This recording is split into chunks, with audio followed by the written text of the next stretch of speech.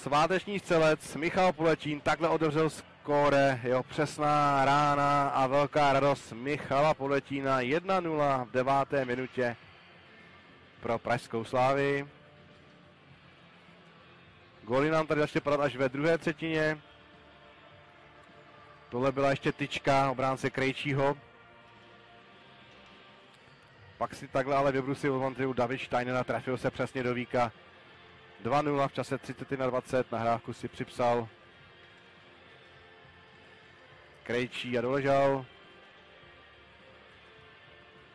Ve 34. minutě byla přesilová hra, Petr Vampl a takhle trefil hokejku Dominika Taynora a vlastně vlastní gól 3-0 nebo 0-3 pro Pražskou slávy.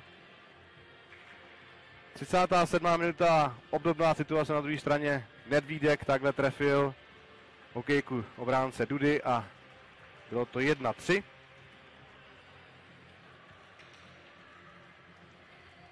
Jenomže to nebylo všechno, takhle se hráli slavisté přesilovou hru, Vampo nabil kapitánovi Novákovi, ten trefil přesně 4-1 pro 4-1 pro Pražskou slávy. No a slávisté už to nepustili a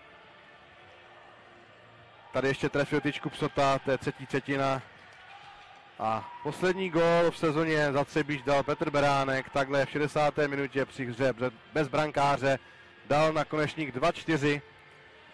To už ale bohužel pro domácí hokejisty sezona skončila. Tímhle tím výsledkem to tady v Třebíči dneska dopadlo. Samozřejmě gratulace do Prahy, smutek tady v Třebíči. To je život, nikdo vyhrát musel. My samozřejmě děkujeme za pozornost.